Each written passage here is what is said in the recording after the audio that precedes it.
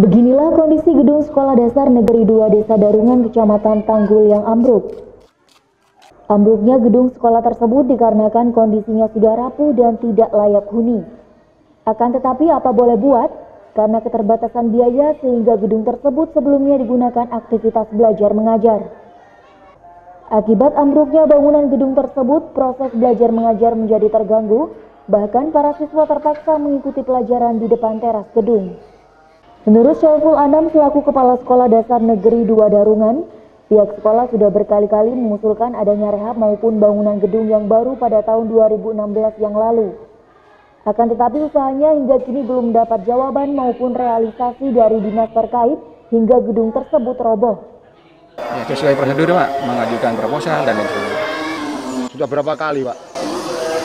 Yang saya ingat itu empat, empat kali Pak. Apakah pernah Pak dinas terkait meninjau sekolah Bapak? Belum, belum pernah.